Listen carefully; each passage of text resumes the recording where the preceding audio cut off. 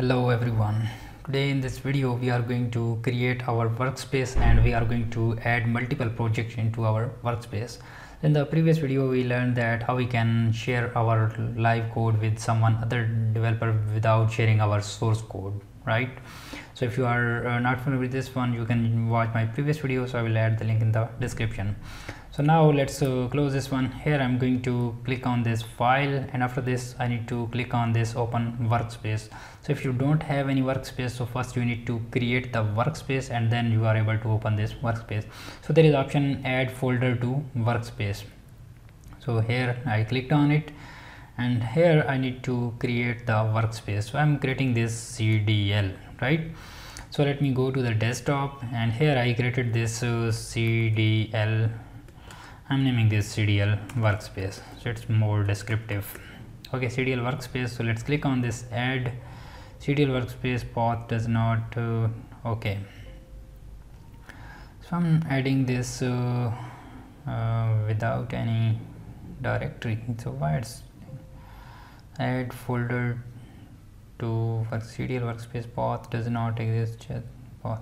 Okay I need to first uh, create this folder manually. You can also do it from here like uh, let me create folder from here video workspace and then I'm going back here.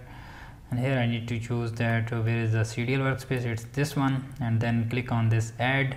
So this will be now added behaves uh, behave as workspace. So yes I trust it on it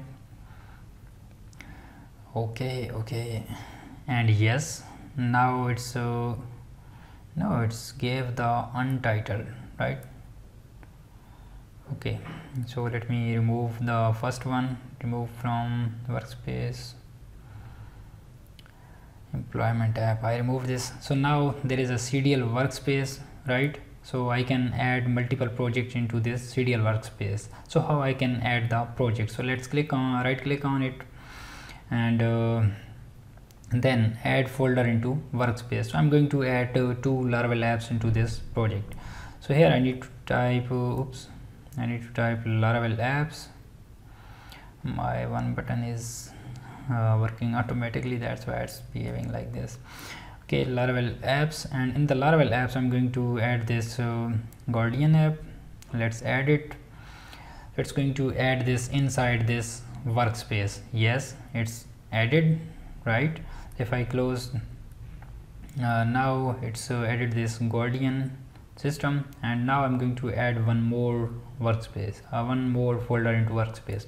So let's right click on it add folder to workspace and here I'm going to choose one more uh, one more app. Okay what's the app so let me find the app first. I'm going to add this employment app. So click on this add. So it's going to add these uh, two ones here right?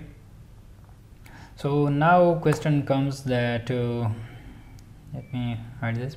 So now question comes that how we can open the terminal because there is one terminal. So how we can open this for twice? So if i go here and click on this terminal new terminal so it's now uh, displaying us three uh, uh, three options. The first one is CDL workspace guardian system and uh, employment app right?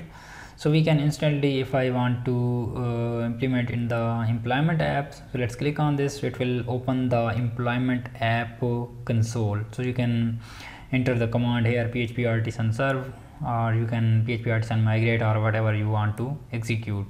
So if you want to uh, now open this in the guardian app so let's click on this and click on this guardian so you can instantly go to this guardian app. So it's totally upon you. If you want to search any file like a web.php file right? So it's uh, telling the name uh, employment app. It's also telling the guardian system. So you can if you want to go to the guardian system so let's click on this guardian and you are in, in the guardian system. So that's pretty simple. So hope you understand the full purpose of this uh, workspace and uh, you are able to add these projects into the workspace.